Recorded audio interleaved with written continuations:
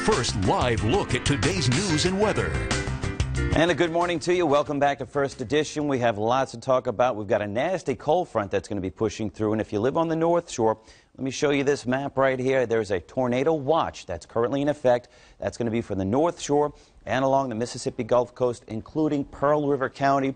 Tornado watch will stay in effect until noon. What this means is the conditions are ripe for tornadoes to develop. That's why this was issued. Again, this will last until lunchtime. So from now until then, you'll have to stay, uh, stay aware and keep aware of the weather. Also, wind advisory will go into effect at 9 o'clock. As this cold front sweeps through, winds are going to be ramping up. That wind is going to be sticking around until about 3 o'clock tomorrow morning.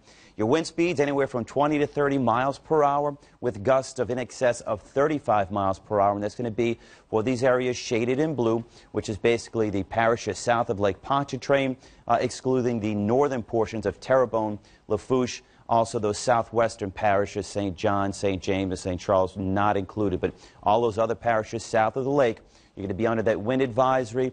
Uh, if you still have time, it's not raining in your area, you may want to tack down any loose items outside, bring in the garbage cans if it's a, uh, the trash day. But notice the satellite imagery showing you just of this we call this flow, this marine flow, right? These, these, are showers and storms that are developing in this strong southwesterly flow. You see we have certain lines moving through. That's not the cold front. The cold front is still back toward the west and northwest. So parts of northern uh, Hancock County seeing some of that rainfall. Also St. Tammany Parish just to the southeast of Covington.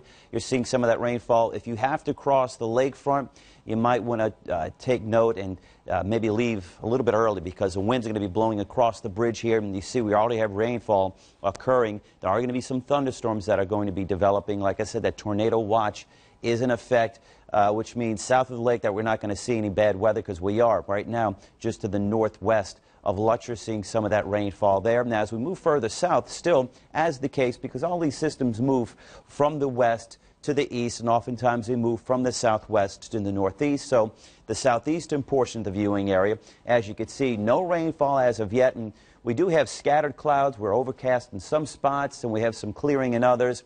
As the front moves, everyone's going to get it in on the rainfall. Now, check out your temperatures. Upper 60s, lower 70s to mid 70s right now.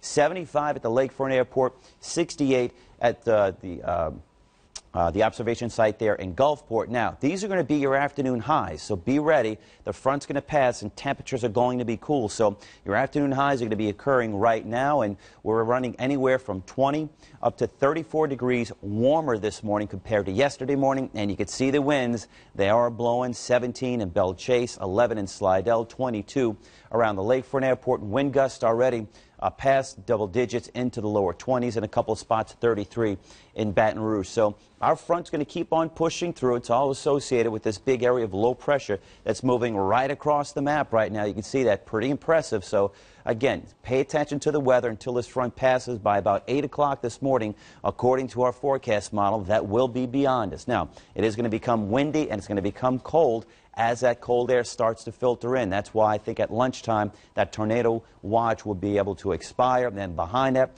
we're working in some clear skies as high pressure will be moving in control, leading to a nice night overnight tonight if you like the cold weather. Again, Storm Prediction Center keeps us under a slight risk for some severe weather till 6 o'clock. So, again, it's just some bad weather that's going to be moving through. It's going to be windy this afternoon. Temperatures are going to be falling. I think we are going to see some sunshine later on in the day, but we've got to get past this front and 20s, upper 20s, lower 30s on the north shore and uh, mid 30s to lower 40s south of the lake. Not expecting uh, much frost, though, I think because the winds are going to stay elevated. Now, Here's what's going to happen. We're going to work in lots of sunshine, mid 50s to right around 60. Check out your chilly mornings tomorrow morning and Saturday morning. And unfortunately, as we look toward Christmas, looks like we're going to be working in another rain chance and some more windy conditions. All right, there's your first edition look at weather.